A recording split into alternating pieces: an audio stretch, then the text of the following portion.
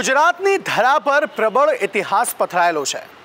કોઈ કલા જિજ્ઞાસુ વ્યક્તિ અને કલામાં રુચિ ધરાવતો વ્યક્તિ ગુજરાતની અલગ અલગ જગ્યાએ ફરે, તો તેને ઘણી બધી એવી વસ્તુઓ, ઘણી બધી એવી ધરોહર મળી શકે જેને જોઈને તે આશ્ચર્યચકિત થઈ જાય. આજે રહસ્યલોકમાં વાત એક એવી જગ્યાની કે જે પોતાની એક કલાકૃતિ માટે અને પોતાની એ બનાવટ માટે આજે રાજ્ય અને દેશમાં પ્રખ્યાત છે. અને એટલું પ્રખ્યાત છે કે તેને ગુજરાતનું પેરિસ પણ ગણવામાં આવે છે. આખરે શું છે તેનું કારણ? કઈ છે એ જગ્યા કે જેણે અંગ્રેજોનું એ શાસન પણ જોયું અને ભારતની એ સ્વતંત્ર તસવીર પણ જોઈ? આજે રહસ્યલોકમાં કરવી છે ગુજરાતના એ જ પેરિસની વાત. આ તસવીરોને ધ્યાનથી જુઓ. આ છે પેરિસ. આ તસવીરોને પણ ધ્યાનથી જુઓ. આ છે વેનિસ શહેર. આ બંને તસવીરો જો તમે અહીં ફરવા ગયા હશો, તો તમે નરી આંખે જોઈ હશે. નહીં તો ટીવી કે સોશિયલ મીડિયાના માધ્યમથી પણ તમે તેને નિહાળી હશે. યુરોપિયન સ્ટાઇલના ઘર, ઘરોમાં લાકડાનો વધુ પડતો ઉપયોગ અને વર્ષો વર્ષ ચાલે તેવા આ ઘરો પોતાની મજબૂતાઈ માટે વિશ્વમાં વખણાય છે. હવે આ ઘર જુઓ. ત્રણેય તસવીરોને એક એક કરીને જોઈએ તો ઘરમાં કોઈ વિરોધાભાસ નથી લાગતો. બસ ફરક એ છે કે પહેલી બે તસવીરો વિદેશની છે અને આ છેલ્લી તસવીર છે ગુજરાતમાં આવેલ એક નાનકડા શહેરની. માન્યામાં નહીં આવે, પણ આ વાત સાચી છે. હવે તમને લાગશે કે આ ઘરની વાત રહસ્યલોકમાં આજે શા માટે કરવામાં આવી રહી છે?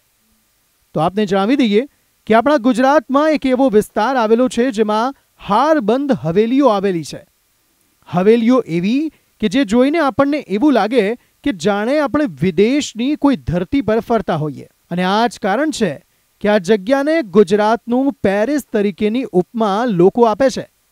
અને એ જગ્યા આવેલી છે પાટણ જિલ્લામાં આવેલ સિદ્ધપુર શહેરમાં. પાટણ જિલ્લાના સિદ્ધપુર શહેરની આ જગ્યા ખૂબ ઓછા લોકોના નજરમાં ચઢી છે.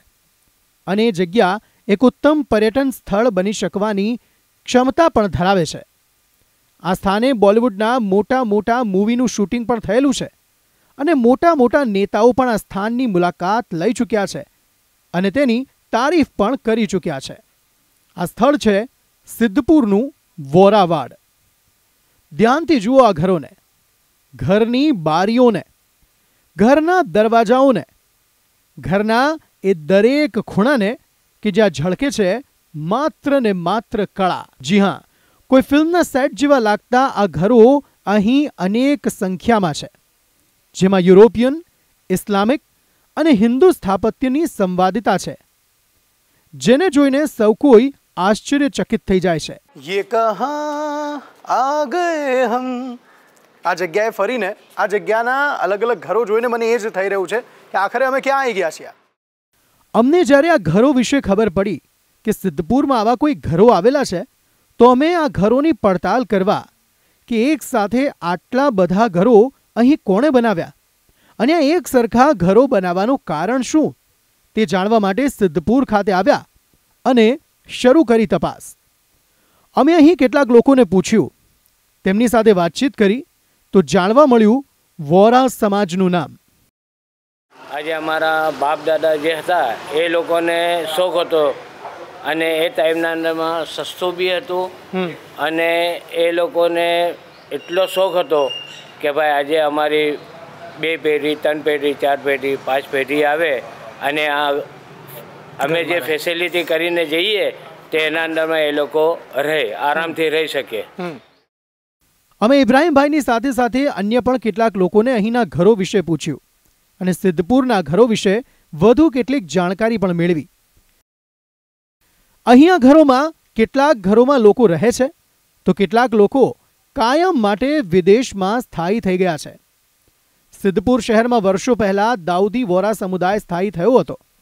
ગુજરાતના શિયા મુસ્લિમ વેપારી દાઉદી વોરા સમુદાયના છે. આથી આ હવેલીઓને વોરાવાડ તરીકે પણ ઓળખવામાં આવે છે. જો તમે આ હવેલીઓની કતાર જુઓ, તો પ્રથમ નજરમાં જ તમે આકર્ષિત થઈ જશો. કારણ કે આ ઘરોને અનોખી અને જટિલ શૈલીથી શણગારવામાં આવી છે. તમને એવું જ લાગશે કે તમે યુરોપના કોઈ નાના શહેરમાં છો અથવા તો અનુભવ થશે કે તમે વિક્ટોરિયન યુગમાં સફર કરી રહ્યા છો. કારણ કે ઘરોની શૈલી બિન પરંપરાગત છે. સિદ્ધપુરના આ વિસ્તારના જે ઘર છે તે ઘર નથી, પરંતુ મેન્શન છે. મેન્શન એટલા માટે કારણ કે દરેક પરિવારોએ પોતાના જે સરનેમ હોય તે પોતાના ઘરની ઉપર જે રેગ્યુલર આપણે લખાવતા હોય છે તે રીતે, અહીંયા બધાએ પોતપોતાની સરનેમ લખાવી છે અને મેન્શન નામ આપ્યું છે પોતાના ઘરને અને દરેક ઘરને આપ જોશો તો એક જ જેવા ઘર લાગે. પરંતુ કલાકૃતિઓ એક જ જેવા એટલે એક જ સમાન ઘર બનાવવામાં આવે છે અને કલાકૃતિઓ જે ઘરની છે એ બધી અલગ અલગ છે. કોઈએ કલર અલગ કરાવ્યો છે, કોઈએ અંદર ડિઝાઇન અલગ કરાવી છે અને ઉત્કૃષ્ટ ઉદાહરણ એ આર્કિટેક્ચર માર્વલનું કહી શકાય. તે, એ, તે પ્રકારના બિલ્ડિંગ જે છે, તે અહીં વોહરાવાડમાં બનાવવામાં આવ્યા છે. ઓલમોસ્ટ બધા ઘર ખાલી છે. ખાલી એટલા માટે કારણ કે અહીંયા જેના જેના ઘર છે એ બધા લોકો વિદેશમાં સ્થાયી થઈ ચૂક્યા છે. દોઢસોથી બસો જેટલા ઘર હશે, પરંતુ તેની અંદર લગભગ દસ કે પંદર જેવા ઘર હશે કે જેમાં કોઈ રહેતું હશે. બાકી બધા ઘરો ને અહીંયા ખંભાથી તાળા લાગેલા છે. એટલે કે તમામ જે ઘરો છે તે બંધ જોવા મળી રહ્યા છે. પરંતુ ખૂબ જ ઉત્કૃષ્ટ ઉદાહરણ જેમ, જે પ્રમાણે મેં જણાવ્યું કે આર્કિટેક્ચર માર્વલનું ઉત્કૃષ્ટ ઉદાહરણ જે છે તે આ બિલ્ડિંગને ચોક્કસપણે કહી શકાય. કે અહીંયા તમે આવો, ત્યારે તમને એવું ફીલ થાય છે કે તમે ગુજરાતમાં છો. તમને લાગે કે તમે કોઈ યુરોપની અ, કોઈ શહેરમાં ફરી રહ્યા છો તેવું આપને ફીલ થાય. અને એટલા માટે જ કદાચ અને આ જગ્યાને ગુજરાતનું પેરિસ ગણવામાં આવે છે. અહીં ઊંચાઈવાળા પ્લિન્થ અથવા ઓટલા ઘરના પ્રવેશ દ્વારને આધાર આપે છે. આ વસ્તુ લાંબા સમયથી માત્ર ગુજરાતમાં નહીં પરંતુ સમગ્ર ભારતમાં રહેઠાણોમાં ઉપયોગમાં લેવાય છે. ઓટલાનો ઉપયોગ સામાજિક જગ્યાઓ તરીકે થાય છે જ્યાં દાઉદી વોરાના પરિવારો સાંજ પછી ભેગા થાય છે. અને પરંપરાગત માળખાને અનુસરીને દરેક ઘર પોતાની દિવાલ આગળના ઘરની સાથે વહેંચે છે અને મુખ્યત્વે તે લાકડા વડે બાંધવામાં આવે છે. આ ઘરની સાથે સાથે અહીંના સ્થાનિક લોકો માટે બનાવાયેલું સોથી પણ વધુ વર્ષ પૌરાણિક ઇબાદત ઘર પણ સૌ કોઈનું ધ્યાન ખેંચે છે. સિદ્ધપુર શહેરને સિદ્ધ શહેર બનાવવામાં દાઉદી વોરા સમાજનો ખૂબ મોટો સિંહફાળો રહેલો છે. એવું માનવામાં આવે છે કે મોટી સંખ્યામાં દાઉદી વોરા સમાજના જે લોકો છે, એ આ ઇબાદત ઘરમાં આવીને પોતાના ઈશ્વર, પોતાના દેવની ઇબાદત કરવા માટે આ સ્થાને આવે છે. પરંતુ જે તે સમયે પાટણના રાજા સિદ્ધરાજ જયસિંહના નામ પરથી આ શહેરનું નામ પડ્યું. હિન્દુઓના રાજા હતા, પરંતુ શહેર વસાવ્યું દાઉદી વોરા સમાજના લોકોએ. અને હિન્દુ, મુસ્લિમ એકતાનું ઉત્કૃષ્ટ ઉદાહરણ પૂરું પાડતું આ શહેર એ સિદ્ધપુર શહેર છે, કે જે નિર્વિવાદિત શહેર રહ્યું છે. અહીંયા કદી પણ કોઈ પણ સમયે હિન્દુ, મુસ્લિમ ભાઈઓ વચ્ચે કોઈ વિવાદ નથી થયો. અને એ જ આ સિદ્ધપુર શહેરને એક સિદ્ધ શહેર બનાવે છે. દસમી સદીની આસપાસ સોલંકી વંશના શાસન દરમિયાન શહેરની ખ્યાતિ ટોચ પર હતી. સિદ્ધરાજ જયસિંહે તેની રાજધાની અહીં વસાવી હતી એટલે શહેરનું નામ સિદ્ધપુર પડ્યું. તેણે શિવ મંદિર, રમણીય મહેલો અને એંશી મીટર ઊંચો મિનારો પણ બંધાવ્યો હતો. તેમણે મથુરાથી બ્રાહ્મણોને અહીં બોલાવ્યા હતા અને વસાવ્યા પણ હતા. બારમી સદી દરમિયાન મોહમ્મદ ઘોરીએ તેના સોમનાથ પરના આક્રમણ વખતે શહેરનો નાશ કર્યો આ ઉપરાંત પંદરમી સદી દરમિયાન તે અકબર દ્વારા મુઘલ વંશ હેઠળ આવ્યું અને આ સમય દરમિયાન શહેરનો ફરીથી વિકાસ થયો હતો.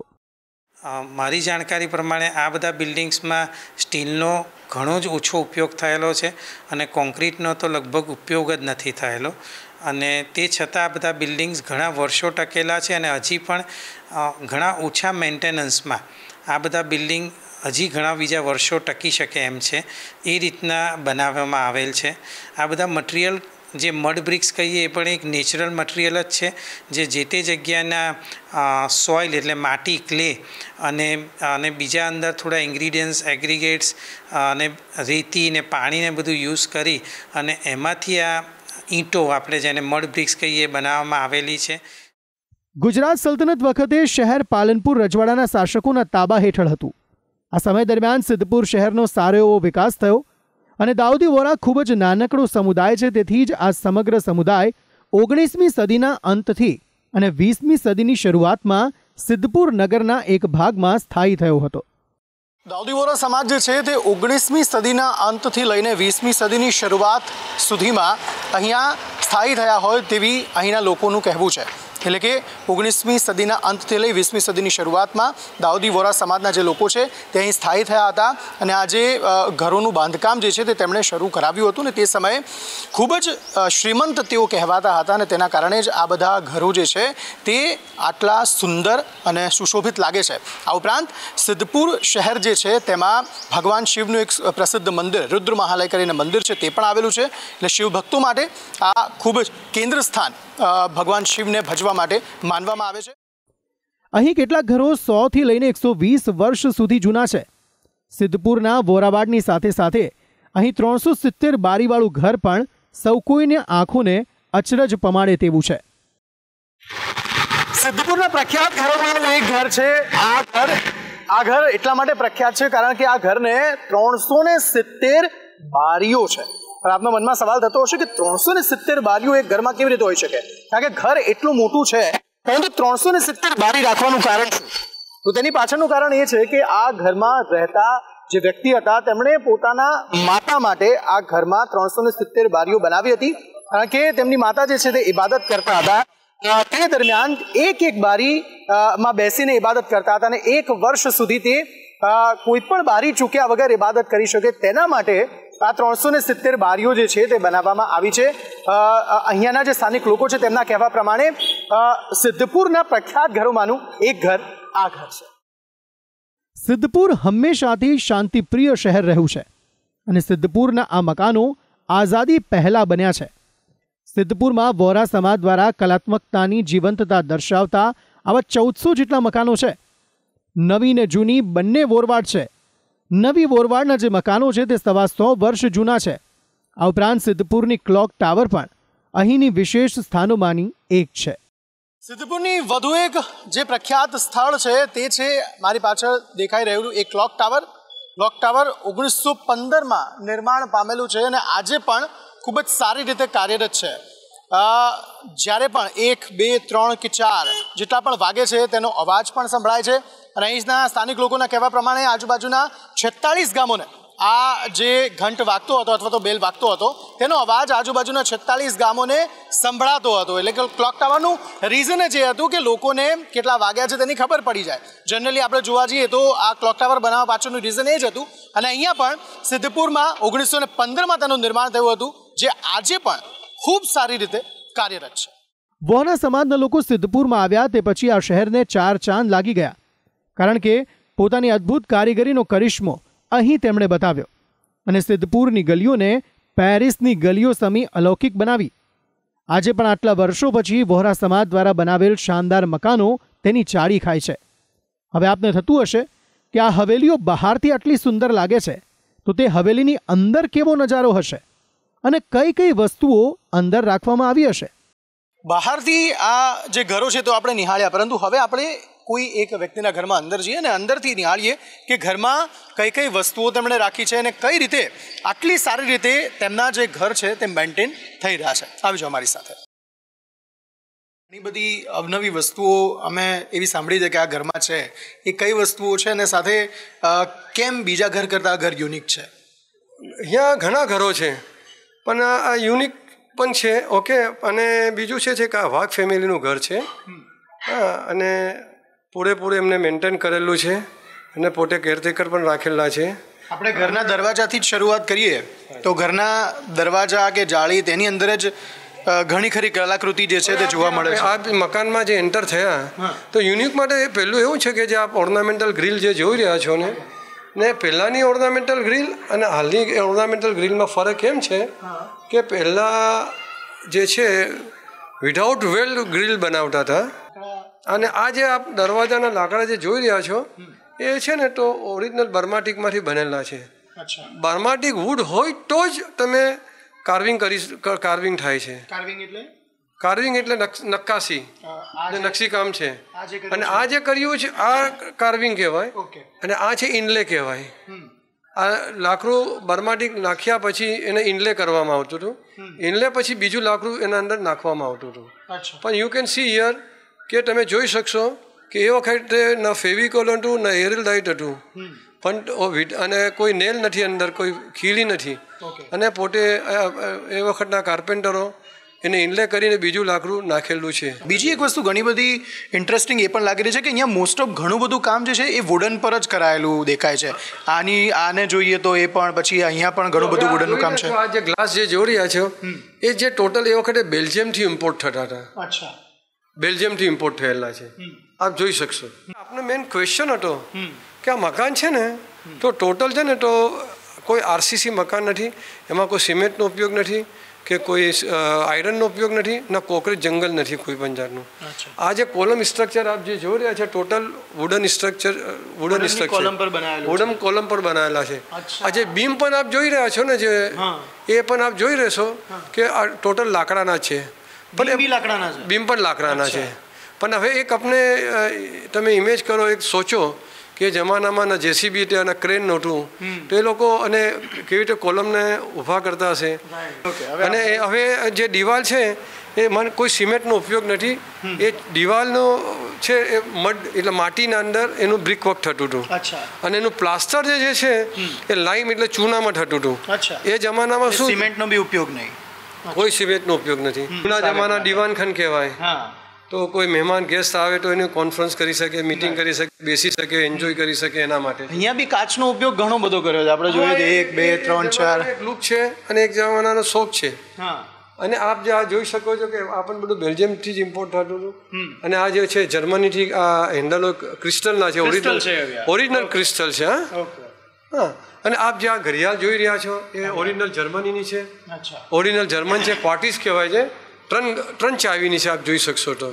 આ એ જમાનામાં એક એમ થાય છે કે વખતે લોકોને વાંચનનો શોખ હતો પુસ્તક વાંચનનો ઘણો શોખ હતો. આપ જોઈ શકો છો આ લાઇબ્રેરી છે. અને બીજું શું છે કે આપ જોઈ શકો છો કે આ સ્ટડી ટેબલ છે. અચ્છા. અને આ આટલા અચ્છા અચ્છા. ઓહો હવે એ જમાનામાં ઇનલેન્ડ લેટર છે કવર છે પોસ્ટકાર્ડ રાખી શકતા હતા. લેટર લેટર બુક મૂકી શકતા હતા. બરાબર. અને અહીંયા બેઠીને પોતાનું ઓફિસ વર્ક પણ કરી શકતા હતા. અને દાખલો છે કે જો એ વખતે આ કેમલીની ઇંક આવતી હતી કે ઢોલાયેલી દેખાય છે તો આપ જોઈ શકો છો. અને આટલા વર્ષો પછી પણ આ એકદમ સ્મૂથ જોઈ શકો છો.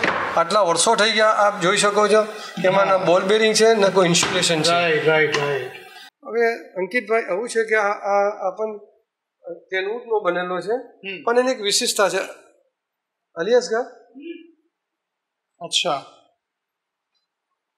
ઓકે. આ જાળી છે આ નીચે. કોપર નેટ છે. કોપર નેટ હા હવે આપ બેસો બેસો આપ. આરામદાયક છે એકદમ. હવે આટલા વર્ષો થઈ ગયા. પણ આયરનની નથી જો આયરન હોત તો એના પર રસ લાગી જાય રસ લાગી જાય કાટ લાગી જાય. અને હવે બીજી એક યુનિક વસ્તુ બી આ આ એને એડજસ્ટ કરવા માટે. આ બોલ્ટ નટ નાખેલા છે કે તમને હા- આપને દાખલા તરીકે ટાઈટ કરવા હોય પલંગને પલંગને લૂઝ કરવો હોય તો કરી શકો છો. આનાથી કરી શકાય. હવે એકચ્યુઅલી ધીસ આ બેડરૂમ છે આ બેડરૂમ છે. ઓકે હવે આપ જોઈ શકો છો કે અહીંયા કપબોર્ડ બનાવેલા છે. પણ એક યુનિક છે આપ જોઈ શકો છો. આપ જોઈ શકો છો કે એની એની નક્કાશીને એની કાર્વિંગને આપ જોઈ શકો છો કેમ કરતા હશે? રાઈટ હવે આટલા વર્ષો થઈ ગયા ગોલ્ડ એની જગ્યા પર છે સિલ્વર સિલ્વરની જગ્યા પર છે. હવે હમણાં જોઈ શકો છો કે આપ પેઇન્ટિંગ કરો તો છ મહિના બે વર્ષમાં પૂરું થઈ આપણે વાત કરી કે ગ્લાસ છે તો એની બ્યુટી કેમ આવે છે? એની બ્યુટી અહીંયા જોઈ શકો છો લાઇટ ચાલે છે. હા. તો કંઈ દેખાય છે આપને કેમ આમ ખ્યાલ પડી જશે કે અલગ ટાઈપનો આમ દેખાય? હા થ્રીડી ટાઈપ લાગે છે. થ્રીડી ઇમેજ લાગે. હા. રાઈટ રાઈટ અહીંયા. થ્રીડી ઇમેજ લાગે છે? લાઇટ પડે છે તો અહીંયા આ જે રેડ કલરનું જે ફ્લાવર છે એ બહાર ઉપસીને આવ્યું હોય એવું લાગે છે. હા તો એ એ સીસું જે લગાવ્યું છે એના લીધે લાગે છે. શીશુ અને ગ્લાસ ઓકે આ બી કંઈક યુનિક લાગી રહ્યું છે. આ શું છે? અંદર શું છે? કે આ અચ્છા ઓરે બાપરે આ તો અંદરથી આ નીકળ્યું. H and is master voice yes yes yes yes is master voice પેલા બેલા બંગલા બનેગા. એના પર આવી ફરતે. હા. ને પછી એનો ટ્યુન અલગ તમે ટેપ રેકોર્ડર અંદર એનું મ્યુઝિક સાંભળો. અને આનો તમે સાંભળો એક યુનિક હોય છે. એનો કર્ણ જેમ તમને ગમે ગમે. કર્ણપ્રિય હા ગમે તમને. આ બધા ઘરમાં આવું હશે કે બધાના ઘરના વસ્તુઓ અલગ અલગ હશે? આ આ છે ને મકાનની ઇમ્પોર્ટન્ટ ફેક્ટર શું છે? કે એની વીટ વધારે છે થર્ટી ફીટ્સ છે. ઓકે જે આપ જોશો બહાર ને લગભગ સેવન્ટીન ટુ એટીન ફીટ થશે આપણું ઓકે સૌથી મોટું ઘર છે અહીંયા. મોટું ઘર કહેવાય. એટલે એક રીઝન એ હોઈ શકે કે જે બોહરા કોમ્યુનિટીઝના લોકો છે એ વિદેશમાં વધારે રહે છે અને એના કલ્ચરથી વધારે વધારે પ્રભાવિત છે. એના લીધે આ વોરવાડા બન્યું. હા એ અમારી એક તો જો ફર્સ્ટ ઓફ ઓલ શું છે કે આપણે એમ કહી શકું કે અમે બિઝનેસ ઓરિએન્ટેડ પીપલ છે. તો શું છે કે દેશ વિદેશ બધા બિઝનેસ અર્થે ચાલા જતા હોય છે. ત્યાંથી આ કોન્સેપ્ટને કેચઅપ કરી ના કરી ના કરતા હોય છે જો કે કેટલાક ઘરોને વાત કરતા હવે અહીં ઘરોમાં જાળવણીનો અભાવ પણ જોવા મળે છે. અહીં મોટી સંખ્યામાં લોકો આવે છે અને આ જગ્યાને જોઈને આશ્ચર્યચકિત થઈ જાય છે. ખરેખર ગુજરાતમાં આ પ્રકારની ધરોહરને સાચવવાની અત્યંત જરૂર છે. યોગ્ય જાળવણી ન હોય તો મહેલ પણ ખંડેર બની જાય. આવી જ સ્થિતિ અહીં વોરાબાડના કેટલાક ઘરોમાં જોવા મળે છે. યુસુફભાઈ જેવા એકલ દોકલ લોકો છે કે જે પોતાના ઘરને યોગ્ય રીતે સાચવે છે. પરંતુ અન્ય ઘરો સાવ ખંડેર બનતા જઈ રહ્યા છે. તૂટેલી બારીઓ છે, દરવાજા પર તૂટેલી અવસ્થામાં જોવા મળી રહ્યા છે. તેવામાં લોકમાંગ એવી છે કે અહીં સરકાર પર થોડું ધ્યાન આપે અને લોકો પણ યોગ્ય જાળવણી કરતા થાય, જેથી ગુજરાતની આ જે ધરોહર છે, જે ઓછી જાણીતી છે, પરંતુ સાચવવા લાયક છે, તેની યોગ્ય જાળવણી થઈ શકે. રહસ્યલો કાર્યક્રમમાં અત્યારે બસ આટલું જ. અમારો કાર્યક્રમ આપને ગમ્યો હશે તેવી આશા રાખીએ છીએ.